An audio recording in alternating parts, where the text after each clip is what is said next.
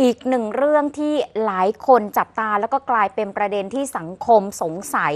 แล้วก็อยากได้รับคำตอบครับหลังจากที่พลตำรวจเอกเสรีพิสุทธิ์เตมียเวทหัวหน้าพักเสรีรวมไทย ออกมาเผยถึงแชทไลน์แล้วก็ระบุบอกว่าไปเยี่ยมอดีตนายกทักษิณที่ชั้น 14 โรงพยาบาลตำรวจมานะคะ แล้วก็โพสต์ในทำนองที่ว่า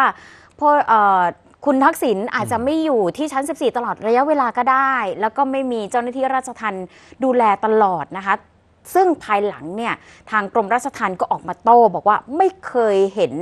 พลตำรวจเอกเสรีพิสุทธิ์อยู่ที่ชั้น 14 เลยอืมก็เลยกลายเป็นที่มาว่าทนายอันบุรีรัมย์ก็เลยไปยื่นเรื่องขอให้รัฐมนตรียุติธรรมตรวจสอบเรื่องนี้ ว่าจริง ๆ แล้วใครพูดเท็จกันแน่ ทนายพัทรพงศ์สุภักษรหรือว่าทนายอันบุรีรัมเนี่ยเดินทางไปยื่นหนังสือถึง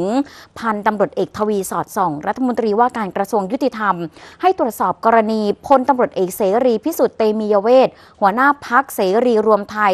ออกมาเปิดข้อมูลแล้วก็แชทไลน์ยืนยันว่าเคยเข้าพบ คุณทักษิณชินวัตรอดีตนายกรัฐมนตรีที่ชั้น 14 อาคารมหาภูมิพล ราชานุสรณ์88พรรษา โรงพยาบาลตำรวจ ขณะที่คุณทักษิณนอนพักรักษาตัวนอกเรือนจำถึง 2 ครั้ง 2 ครา ก็คือวันที่ 14 พฤศจิกายนปี 2566 และอีกหนึ่งครั้งก็คือ ต้นปีที่ผ่านมา 10 กุมภาพันธ์ 2567 ทนายอันบอกว่า